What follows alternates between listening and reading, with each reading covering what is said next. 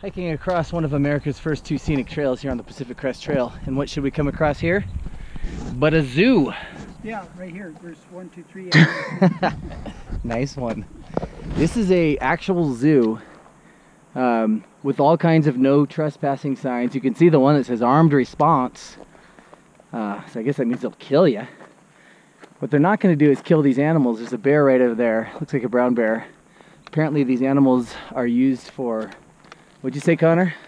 Television and movies. So these are the animals in television and movies that we watch. I have no idea what the story is, how this place got here, how the animals got here. Um, it's pretty remote though. I mean, this is in the middle of nowhere. Only us through hikers. Oh yeah, you can see the bear. It's just chilling. Anyway, completely unexpected. I guess you just never know what you're going to get out here. In Section C, California, Pacific Crest Trail, 2018. 18.